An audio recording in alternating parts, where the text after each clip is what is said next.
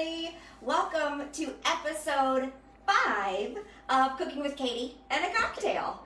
It's hard to believe that it is already episode number five. I thought it was high time that we did a dessert because everyone loves dessert, right? The most perfect part about dessert is that a cocktail pairs very nicely with dessert. And today, the Cooking with Katie of the dessert and the cocktail portion brought to you by Jolo Winery and Vineyards. Today, we're going to be having Jolo Twinkles. That's the name of it. And Twinkles is a sparkling wine. And I thought, well, Twinkles has some citrus, it has some strawberry taste, or essence, I should say. And so we're going to be cooking with strawberries, a strawberry dessert, a strawberry cobbler. So the perfect cocktail to go along with that is my Twinkles from Jolo Winery and Vineyards. Cooking with Katie and a cocktail also brought to you by Sprouts Farmers Market. All of the ingredients purchased at Sprouts Farmers Market, and uh, they're great. They're healthy, living for less. That's where we do our grocery shopping. And today I have several assistants. I have my daughter Nora. I also have my husband Ben, who's the production guy. Hello. Hello, everyone. And so, cheers. Welcome to Cooking with uh, Cooking with Katie and a cocktail. I've already had two cocktails because it's been a day. We're just gonna keep on going. Cheers. Okay, so I decided that we were going to be doing. Nora went to the garden and she picked some fresh herbs for us. You'll see how those come into play in a little bit. Um, I decided, you know, strawberries are in season right now, and it's one of the things that we have been able to do is go out and pick some strawberries. We've had access to lots of strawberries, like at Sprouts Farmers Market, because they are in season, they're plentiful, they're big, they're juicy, they're sweet. And so, because they're bountiful right now, I thought that uh, um, showing you a dessert, an easy dessert, would be a good way to go. Also, I did a little bit of research. One of the things that I love the most about watching cooking shows, especially my girl Vivian Howard from Chef's Life, if you know me at all, you know that I love Vivian Howard. And um, one of the cool things about her style of cooking is that she likes to keep it very local and she also likes to kind of inform you on what it is that you're cooking and why you're cooking it and where it came from. So, because I love her so much, that's kind of the way that I think as well. And I was wondering, do I prefer a cobbler? Do I prefer a crisp, which is another form of a baked fruit with some sort of topping. There's also something called a buckle. It could be any kind of fruit, a buckle. There's also something called a sonker, which I just learned about. Apparently, it originated in Surry County, North Carolina, and it's a sonker, but all of those dishes have the same concept. They are baked fruit with some sort of uh, a carb, a carb topping. It, whether it's rolled oats or it's granola or it's a cake type thing like we're going to be making today with the cobbler, it's all sweet baked fruit with some sort of carb. And who doesn't love carbs? So let's get started. This is super easy today. I will tell you, uh, you need to go ahead and get started with your oven at 375. So get that preheating and then um, we're gonna put together our very own strawberry cobblers. So first things first. We're gonna start with the cobbler portion. Oh, and by the way, I wanted to remind you that if you are watching me on Facebook Live now, thank you, cheers. And also feel free to comment because my production guy is gonna be reading comments and we can interact because we're cooking together. Uh, and he can read all your comments and, and uh, let me know. So, um, Billy Ridgway uh, says, I make sonkers all the time, so I must be a local. Yeah. I, I just learned about Sonkers and something, correct me if I'm wrong, Billy, but I, a milk dip. I didn't know what that was, but it, it's like a cream that you can also put on top. I've never heard of a Sonker before, but I want to make one now because it sounds really good. Uh, but this cobbler, I chose cobbler as my favorite because while I do love a granola, something crispy on top, I really love cake, and I feel like a cobbler is the best of both worlds. You get the baked fruit, you get the cake on top, it's sweet, there's gonna be a little bit of a crunch, and of course, we're gonna top it nice and hot with some ice cream to bring it all together. All right, so let's start with two and a half cups of a baking mix. This is super easy, you guys. You have Bisquick or you have some kind of baking mix. This is two and a half cups. We're gonna start with this. Nora is gonna help me by mixing it all together. Can you keep it in the bowl, do you think?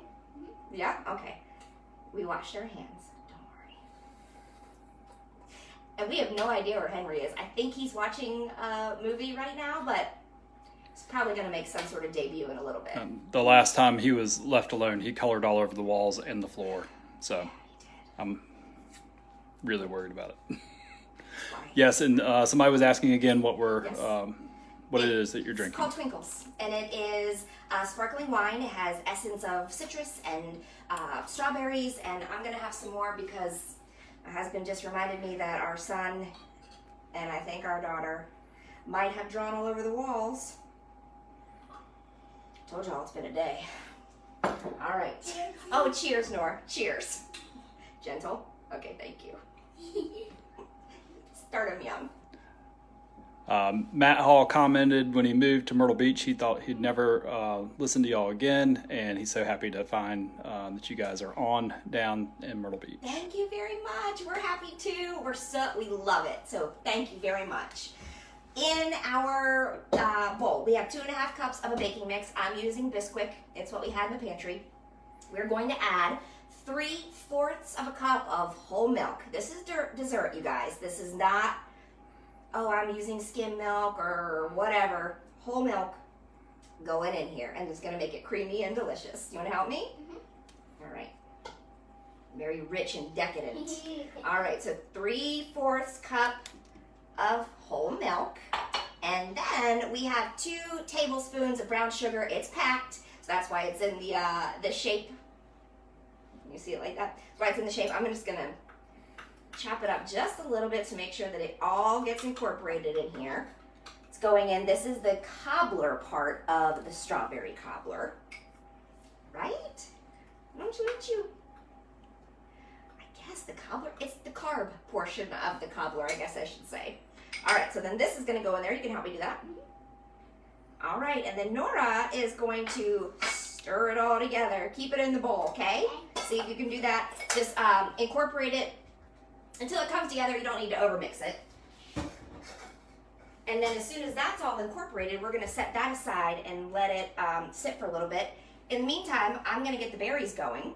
Good job, Nora. You can just stir it all together. The berries.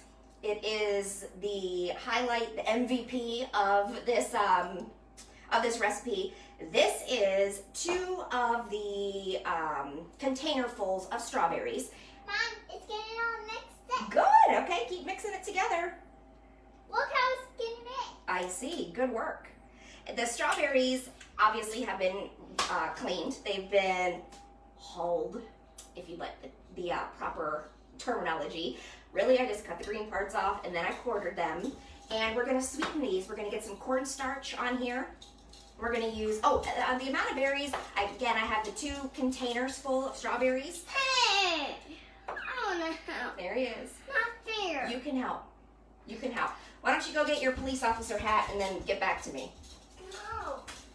Look how much is in there. I see. Okay, can you keep stirring, please? All right. Uh, so to the berries, we're going to add a fourth of a cup of cornstarch. This is going to coat the berries, and it's going to create that thick, syrupy sauce that the juice of the cobbler that gets all incorporated with the the carb portion of the cobbler, and it bubbles up when it gets. It's the delicious part. So we're creating the juice. It is uh, a fourth of a cup of cornstarch. We're also going to add, good job, Nori, getting tired? Okay, we're also going to add three fourths of a cup of just plain white sugar. Give him a spot Come here, honey. you. Come here, So come here. No. You can stand beside by me. Okay, Watch your toes. get that going in there too. Is it all done? Keep going just a little bit more, please. And we're gonna add one teaspoon of salt. And that's gonna Your friend um, go in as well. Juliana said that there's a some kind of brown sugar bear thing that you can put into your brown sugar and it keeps it from clumping up. And we'll oh what the brown I Hey, Jewel. The brown sugar bear, I have heard of that. It keeps it moist. You know how I love that word. I'm, I'm done stirring. Okay, great. You can just leave that right in there. Can I look at No, you can lick it in just a little bit when it's finished. There's no egg, so don't worry. Not that raw eggs ever stop me. No, they haven't. right. All right, so we're getting the, the berries going. Hi, Henry. Okay, I'll let you add that in just a minute, okay? Getting this nice and coated. This uh, this bowl, by the way, is the bottom of our salad spinner. And I chose it because it was see-through because I wanted you, you to see how beautiful these strawberries are. I know on our, um, I feel like on everybody's Facebook feed right now, it is everyone's going out and picking some strawberries from local farms or buying it from Sprouts, your local farmers market. Um, you know, because it's tis the season, right? Get this all incorporated. This is the uh, cornstarch, the sugar, and the salt. and. And we're going to put this into our baking dishes. Now you can choose if you'd like to um, put this all in one baking dish to make a really large cobbler. I think that probably, if you eat normal sized desserts, and who does that? It should feed 12 or 6. Um, but we're going to put this cobbler let me just make sure that this gets all incorporated. Hey, Henry, can you slide out of the way so that everybody can see this beautiful fruit just a little bit? Oh, um, all right, so this is all incorporated. We're gonna let that sit for just a little bit. We're gonna put the uh, the berries into these really cool little containers. Now, wait for just one second. I bought these containers from just like your home goods store a while ago. I think before we ever even lived in this house, I think, because my mom and dad are coming into town, and my dad is, was making French onion soup. And so I said, well, I'll get the, the vessels that will hold the French onion soup. You make it, and I'll buy the things. This is not the right size for French onion soup unless you're a giant. Yeah, you, oh, do you want to add the vanilla? Okay, hold please. Can I taste? You want to add it in? This is one tablespoon of vanilla. It can go into the berries so it creates the juice. Mom, can I taste? No, you taste it in just a few. Ready to help me dump it? Can I help him? You both can help. One, two, three. All right, good work, everyone. Okay, we'll stir the vanilla in there. Ooh, this is looking good. Yep. Okay, Hen, please. Mm-hmm. Okay, thank you. He did not wash his hands, and I don't know where they've been. All mothers of, of little boys are like, uh huh, you know where they've been. And little girls too, who am I kidding? All right, so that's all in there. But anyway, this little, um, I don't really even know what it's for. Maybe little side dishes or mini casseroles. But I thought it was adorable, and that's why I bought it because that's what you do at the home stores. So I thought that it would be great to put our cobbler in here. This is going to be too much cobbler for just our family. So gonna talk about those. not yet. I'm gonna uh, make this cobbler and take it over to uh, Mrs. Chris's house and with, with a side of ice cream. Thought that it was a form of payment for all of the great work that she does, but also a really fun idea if you're if you're baking for other people and leaving it on the doorstep these Can we, days. Can we come um to deliver the Yes. You can. You can come with me to deliver it. All right. And, and we and and we we can get it um, on a bike and you can carry them. Are you eating all the mint? Not all of it. I think a lot of it you are. This is a little thick.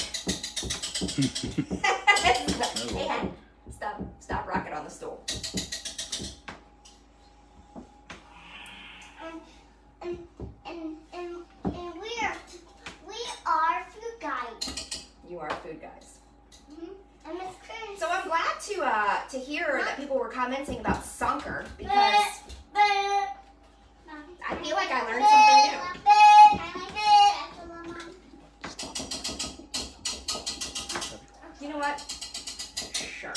Okay, why don't y'all take it and go? Okay, I love you. Okay. Okay, he can have this one as soon as. Go watch a movie, kids. Um, um, um, can I have that one? Yes. It's you yummy. Okay. So this is the uh, the carb portion of the cobbler. First, I said it was the the cobbler portion, but I guess it's all cobbler. This is just the topping, and it is pretty thick. But that's because it's gonna make like a biscuit on top.